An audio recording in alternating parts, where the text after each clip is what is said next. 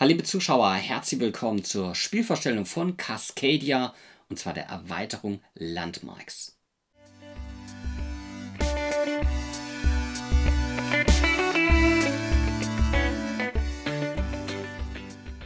Und damit herzlich willkommen zu einem weiteren Video rund um Cascadia. Sehr erfolgreiches Spiel, Kosmos der Verlag, Illustration Randy Flynn und jetzt gibt es eine Erweiterung. Schon länger eine Erweiterung, aber ich wollte mir Zeit lassen, ausgiebig zu testen, um euch eine Meinung zu geben ob sich das Spiel, ob sich die Erweiterung überhaupt lohnt und für wen sich denn die Erweiterung überhaupt lohnt. Illustration Beth Sobel von der Illustration, gerade von der Erweiterung, richtig gut gemacht, richtig gut gemacht. Ein paar Angaben fehlen noch und da sind wir schon bei der ersten Neuerung.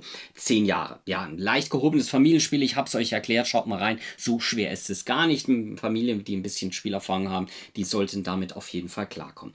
Eins bis vier Personen, Grundspiel. 1 bis 6 Personen. Ja, man kann es jetzt auch mit bis zu 6 Personen spielen. Das sorgt natürlich für eine längere Spielzeit, für eine gewisse Downtime müsst ihr auf jeden Fall kalkulieren. Ähm, das ist natürlich eure Entscheidung, aber gerade, weil es auch gerne Familie mit 5 Personen gerne spielen, habt ihr jetzt auf jeden Fall die Möglichkeit, wird natürlich etwas die Spielzeit verlängern. Hier steht jetzt noch beim Grundspiel 30 bis 60 Minuten.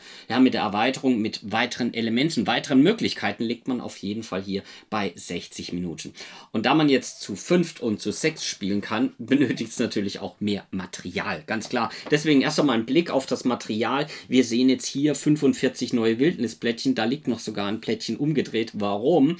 Naja, der eine oder andere ist ja ein bisschen genau. Ich schaue da auch genau hin. Carcassonne lässt grüßen mit den Rückseiten, mit der gleichen Farbe, mit der ähnlichen Farbe.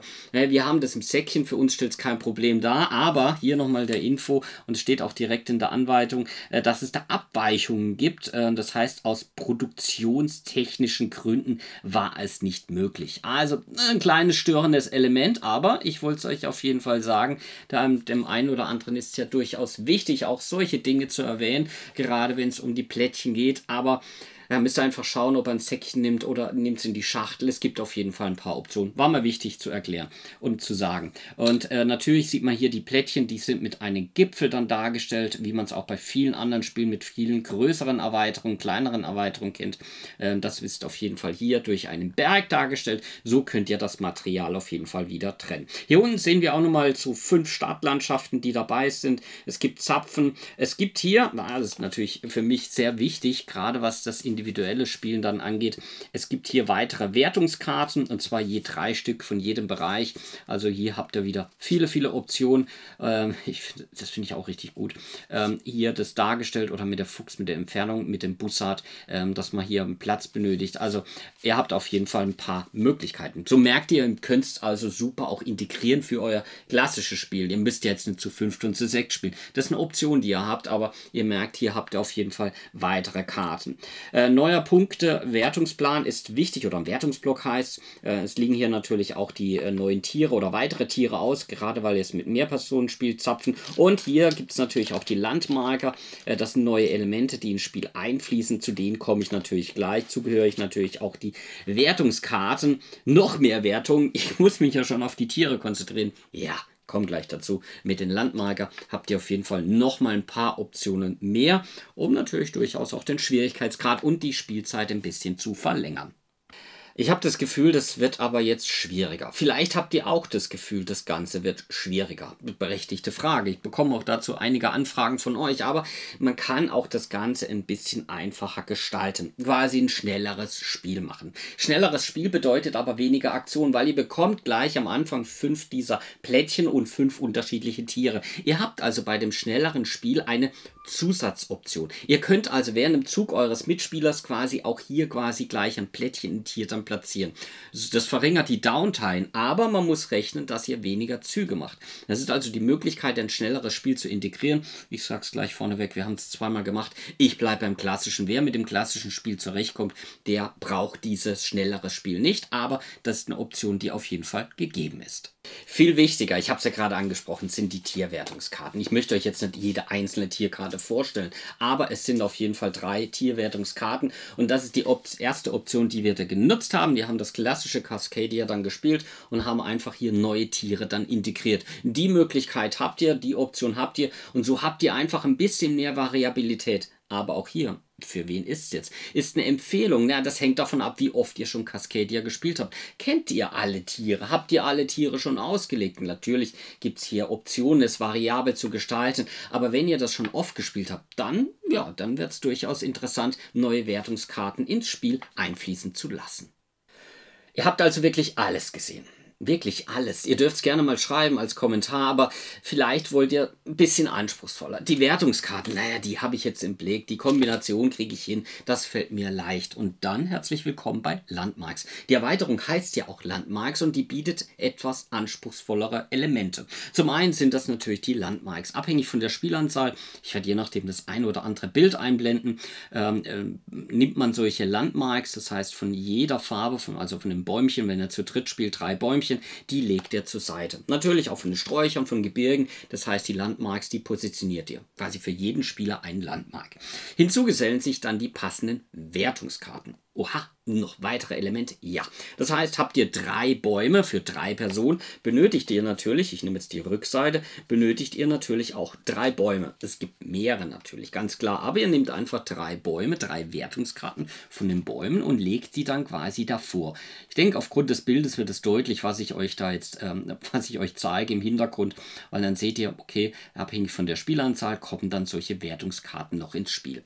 Aber wenn kommen denn die Landmarks überhaupt zum Einsatz? Das hängt von der Größe eures zusammengehörigen Gebietes ab. Habt ihr, bleiben wir beim Baum, ein Waldfeld, was eine Größe von 5 oder größer zusammenhängt, dann könnt ihr quasi das Tier, das könnt ihr nehmen, das könnt ihr auch irgendwo anders hinsetzen oder aus dem Spiel nehmen, aber ganz wichtig, ihr nehmt dann hier diesen Marker, dieses Bäumchen, diese Landmark und setzt auf dieses zuletzt platzierte Feld, dieses Waldfeld, wo jetzt 5 und größer ist oder ihr macht es später, aber auf dieses letzte Plättchen, da setzt ihr die Landmark. Und dann sucht euch eine Wertungskarte raus. Wie eine Wertungskarte? Naja, wenn ihr als erster ein Bäumchen setzt, habt ihr drei Wertungskarten bei drei Personen und könnt euch also aussuchen, welche zusätzliche Wertungskarte ihr nehmt.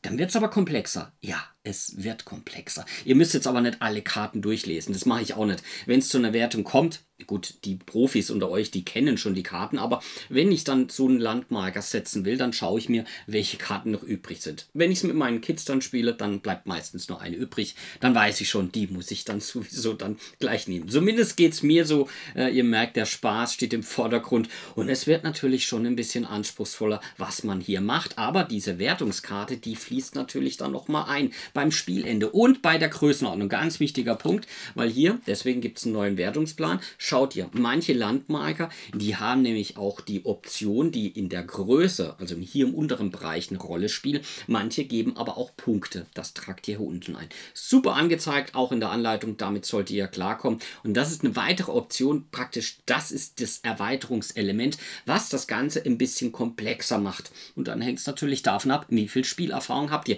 Seid ihr schon überfordert? mit diesen Karten oder nicht überfordert, reicht es euch aus. Dann braucht ihr Landmarks oder die Erweiterung oder dieses Element benötigt ihr gar nicht, weil dadurch wird es natürlich schwieriger. Ihr habt noch viel mehr Wertungskarten und ihr wisst jetzt schon gar nicht, zumindest geht es mir teilweise so, wo man jetzt die Prioritäten setzt. Na, anderen gelingt es, mir gelingt es weniger, aber das hängt natürlich auch davon ab, wie oft das spielt, wie komplex ihr den Cascadia haben wollt. Und zum Schluss greife ich nochmal zur Anleitung. Der eine oder andere kennt es, weil es gibt natürlich auch noch neue Herausforderungen mit Landmarken. Das finde ich richtig gut gemacht, auch für Solo-Spiel. Es gibt viele von euch, die auch gerne Solo spielen und die soll ich, will ich nicht außer Acht lassen, weil es gibt mittlerweile so viele Personen, die gerne Solo spielen. Warum auch nicht? Und hier habt ihr natürlich noch viel mehr Möglichkeiten, noch viel mehr Herausforderungen, wie ihr das Ganze gestaltet. Und auch hier nochmal Optionen, ähm, Wildnis, Größe 5, all das angezeigt. Und das waren auch schon alle Informationen rund um diese Erweiterung. Und damit bin ich noch bei einem kurzen Fazit. Ja, Cascadia im Herzen der Natur. Kosmos, der Verlag, Randy Flynn, Illustration, Beth Sobel ist ein richtig erfolgreiches Plättchenlegespiel. Und ich bin mir sicher, das trägt sich noch auch in den nächsten Jahren. Es wirkt ein bisschen abstrakt, aber teilweise mit Thema verbunden, aber es ist einfach erfolgreich. Und mittlerweile schon seit ein paar Monaten ist jetzt auch diese Erweiterung erschienen. Hätte auch ein bisschen Zeit benötigt. Ich wollte einige Partien dann absolvieren, bevor ich das euch jetzt in dem Video darstelle. Und Landmarks, die Illustration ist richtig gut. Die gefällt mir sogar fast besser als jetzt hier mit den Bergen. Aber das ist richtig gut gemacht. Aber der Inhalt, der spielt auch eine Rolle. Und die einzelnen Elemente, die habe ich euch in den Abläufen gezeigt und bereits ein kurzes Fazit ergänzt. Hier nochmal in Kürze ein paar Informationen. Weil man kann jetzt hier das Ganze mit bis zu sechs Personen absolvieren. Beim Grundspiel waren es vier Personen. Hier habt ihr also die Möglichkeit, mit bis zu sechs Personen zu spielen. Es erhöht natürlich die Downtime, die Spiellänge. Es sind viele weitere Elemente dabei, damit ihr es auch absolvieren könnt, bis zu sechs Personen. Aber es zieht sich natürlich dann hin. Müsst ihr gut überlegen, wie schnell ihr spielt. Wenn ihr zu viert schon eine Stunde oder 70, 80 Minuten spielt, Müsst ihr euch überlegen, dann spielt er 90 Minuten, wenn ihr da zu 5 zu 6 spielt, ob das euch nicht zu lang ist. Wir spielen das relativ flott, 45 Minuten bei uns zur Spielzeit, äh, unabhängig von der Spielanzahl, das geht flott, da hat man Möglichkeit. Es gibt ein schnelleres Spiel, wo man gleich, bereits am Anfang ein paar Blättchen vor sich liegen hat, Tierrad, mag ich jetzt nicht. Also Standardspiel reicht aus, ich brauche jetzt nicht noch ein schnelleres Spiel, aber die Option ist auf jeden Fall gegeben. Ihr habt natürlich auch neue Wertungskarten, ein tolles Element. Das ist ein cooles Element, sowas wünscht man sich natürlich immer das ist schon ein Element, die dafür sorgt, oh, dann will ich dann doch die Erweiterung. Aber hängt davon ab, wie oft spielt der Cascadia. Habt ihr denn schon alles gesehen? Das sind weitere Optionen. Natürlich kommt jetzt ein Element hinzu, wo das Ganze zu schon fast Richtung Kennerspiel werden lässt, also für ein anspruchsvolleres Familienspiel und das sind die Landmarks. Ihr habt also jetzt hier solche Landmarken und ihr habt natürlich passende Wertungskarten, die natürlich mehr Optionen geben. Nicht nur die Wertungen aufgrund dieser Tiere, sondern auch die Landmarks mit diesen Karten bringen euch Bonuseffekte am Ende für die Größe, aber auch für die einzelne Anordnung der Landschaften und dadurch wird das anspruchsvoller. Wenn ihr sagt, hm, das Familienspiel Cascadia, das passt, das ist gerade vom Schwierigkeitsgrad okay. Dann ist die Frage, braucht ihr dann die Erweiterung, insbesondere die große Box? Weil im Mittelpunkt steht natürlich, stehen die Landmarken mit weiteren Wertungsmöglichkeiten und dadurch steigt der Schwierigkeitsgrad an. Ich glaube, es könnt ihr für euch durchaus beurteilen, ob ihr das dann unbedingt benötigt. Hängt natürlich auch, wie immer, mit dem Preis zusammen. Wir spielen es gerne, ist eins der Lieblingsspiele meiner Tochter nach wie vor, weil sie es unheimlich gerne spielt.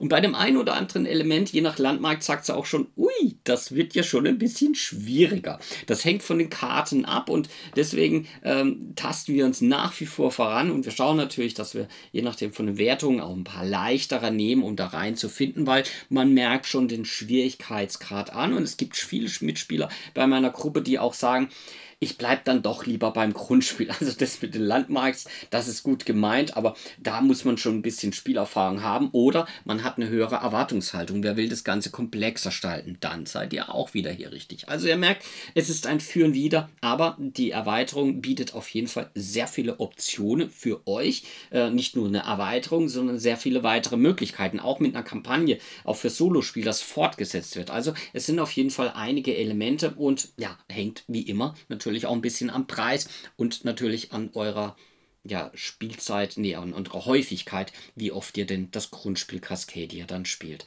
Ich hoffe, ich konnte es euch näher bringen. Wir halten auf jeden Fall die Erweiterung, weil es sind so schöne Elemente, auch wenn wir jetzt nicht alles immer dann nutzen, aber es sind Elemente, die das Ganze variabler gestalten und das möchte man auch eine gewisse Anzahl und wir haben das Spiel jetzt auch so oft gespielt, also für uns auf jeden Fall definitiv mit dabei, wird sich da drüben gesellen und ähm, eine, auf jeden Fall eine Erweiterung, die sich lohnt ja, ob es weitergeht, weiß man nicht. Keine Ahnung. Es wird natürlich jetzt auch davon abhängig gemacht, wie sich wahrscheinlich diese Erweiterung verkauft.